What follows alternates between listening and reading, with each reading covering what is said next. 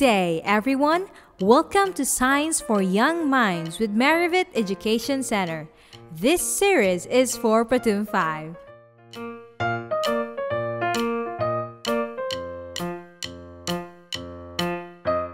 Let's learn some new words. Are you ready? All right. You will learn how to spell and pronounce some vocabulary words.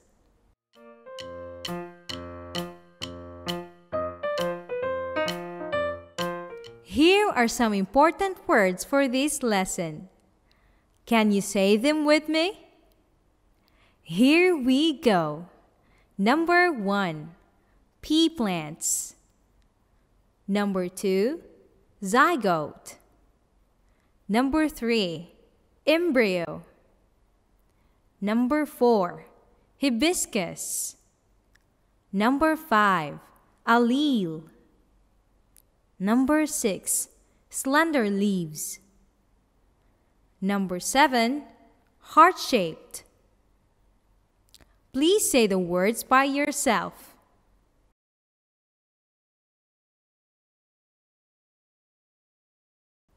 That was awesome! Let's learn more about each word. Are you ready? Please say the word with me. Pea plants.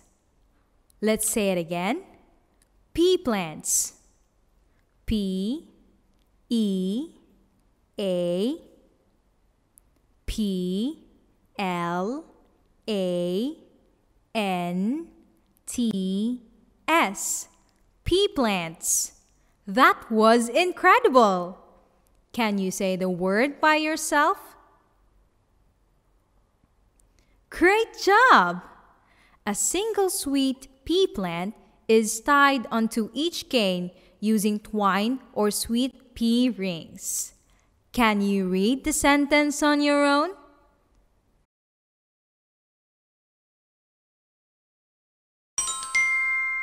Amazing! Let's learn another one.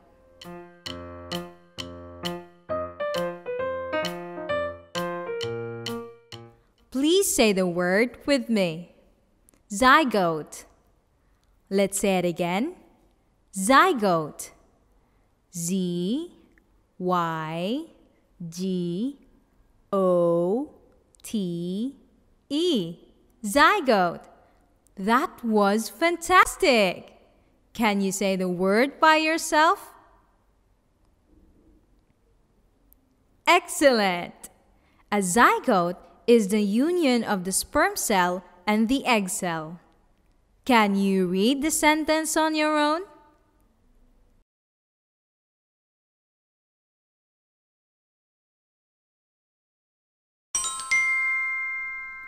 Wonderful! Let's learn another one.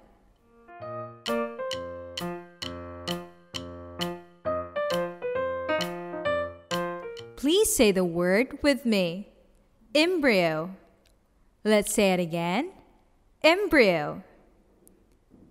E M B R Y O. Embryo. That was awesome! Can you say the word by yourself? Fantastic! An example of an embryo is when you have a viable female human egg that has been fertilized with a man's sperm. Can you read the sentence on your own?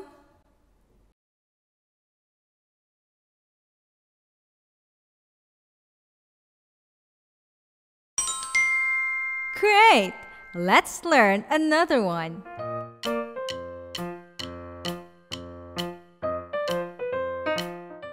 Please say the word with me. Hibiscus.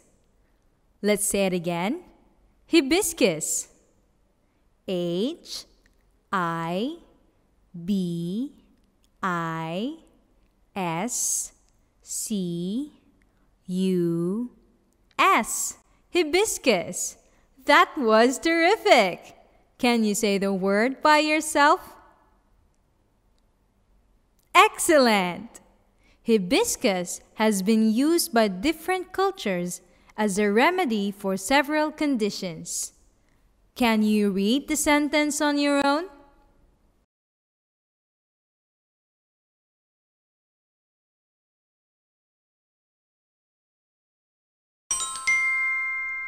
Wonderful! Let's learn another one.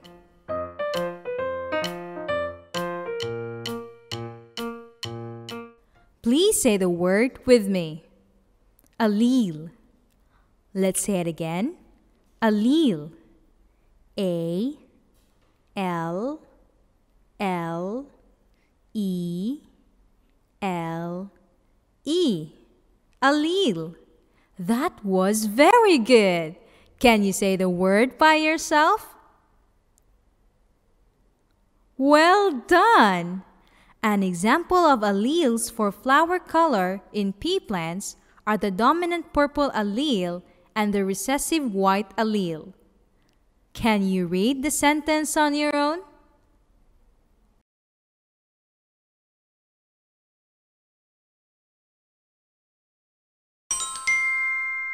Amazing! Let's learn another one.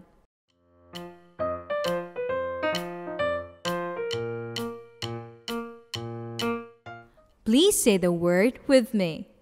Slender leaves. Let's say it again. Slender leaves. S L E N D E R L E A V E S. Slender leaves. That was great. Can you say the word by yourself? Excellent. Some plants have thick and fat skin, but some have slender leaves. Can you read the sentence on your own?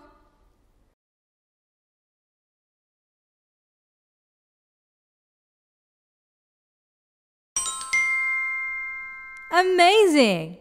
Let's learn another one.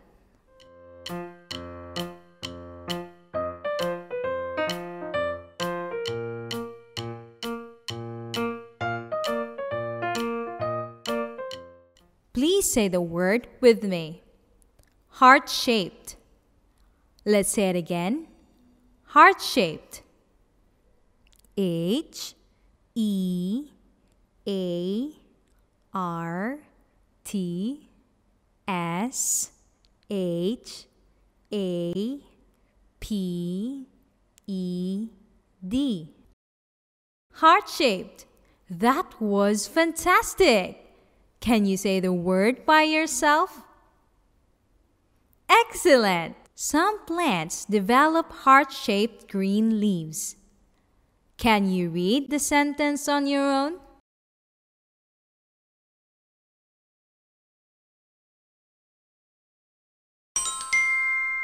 Amazing!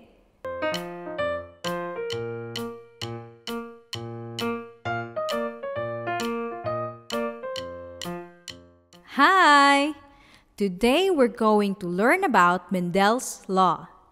Let's get started. In this lesson, you will learn who Gregor Mendel is and his contribution to genetic science. Also, you will learn and understand Mendel's law. Do you know Gregor Mendel? How smart! Gregor Mendel is a genius scientist who is known as the father of genetics. Today, his work is still our foundation of our own understanding of heredity.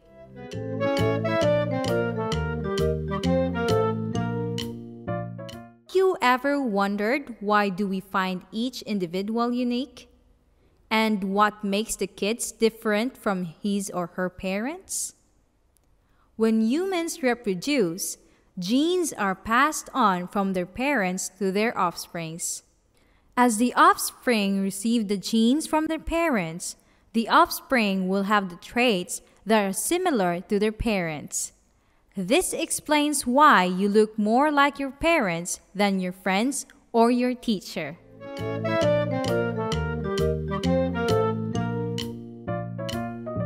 Here are some traits that children inherit from their parents the color of the hair, the presence of freckles, the color of the eyes, and the type of earlobes. What traits do you inherit from your dad? How about from your mom? That's really nice.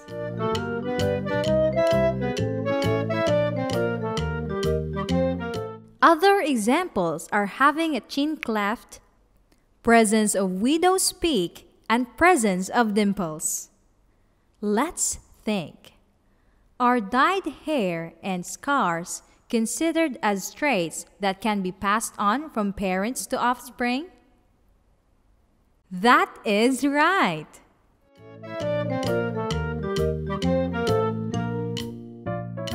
Well, that is all for Mendel's Law. I hope you learned a lot. See you in the next episode.